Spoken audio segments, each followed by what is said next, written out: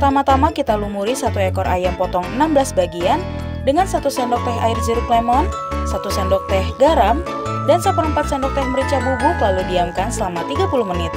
Goreng ayam sampai berkulit saja lalu sisihkan.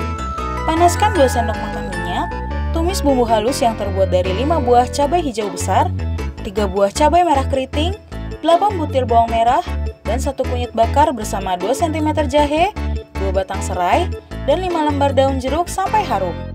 Tambahkan ayam, aduk rata. Masukkan 750 ml air, setengah sendok makan garam, seperempat sendok teh merica bubuk, dan satu sendok teh gula merah. Masak sampai meresap, tambahkan 5 tangkai daun kemangi yang sudah dipetiki, aduk rata.